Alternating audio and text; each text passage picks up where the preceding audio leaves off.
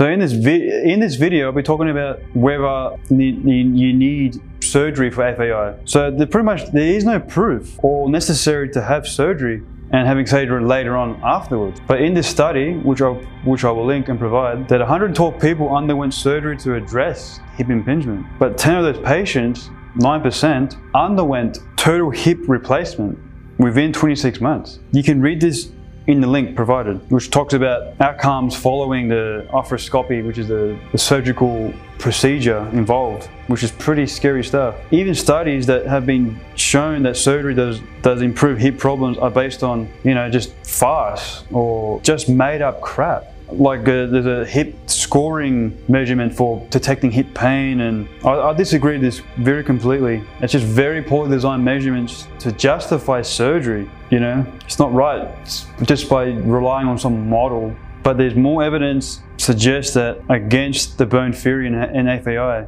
Way more evidence now. There's more studies showing, but you can actually read the, the specialist summary of all the problems with the current evidence for the current theory of um, hip impingement. I'll link, I'll link that too and provide that. This study was published in 2015 on the prevalence of hip impingement or femoral acetabular impingement in a senior age population. I'll link that too. And the study shows that bone shape believed to be the cause of FAI are not related to any development of pain or arthritis and just natural anatomical variations. So we're all, like I said before, we're all made differently in some ways that have been incorrectly interpreted to be the cause of pain. So what I what I understood from all the studies, the science pretty much says right there is that you got to just in my experience and a lot of people I went through in the army, even before the army, I learned a lot of stuff that you just got to address the muscles of the hip properly and gradually this program will help your hips heal. So hopefully you got something out of this from the studies and you know just don't let um, pain get you down but there's still hope,